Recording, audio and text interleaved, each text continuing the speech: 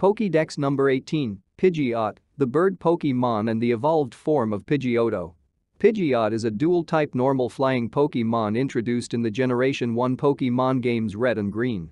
When hunting, it skims the surface of water at high speed to pick off unwary prey such as Magikarp. It spreads its gorgeous wings widely to intimidate enemies. It races through the skies at Mach 2 speed. Pidgeot has a height of 4 feet 11 inches and a weight of 87.1 pounds. Pidgeot has two standard abilities. The first is Keen Eye which prevent other Pokemon from lowering this Pokemon's accuracy.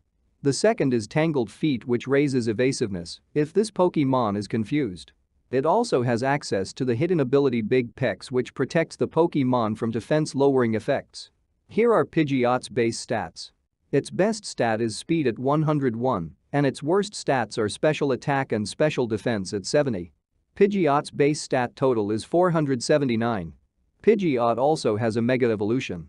Mega Pidgeot has the ability No Guard which employs no guard tactics to ensure incoming and outgoing attacks always land.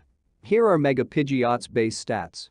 Its best stat is special attack at 135 and its worst stats are attack, defense, and special defense at 80.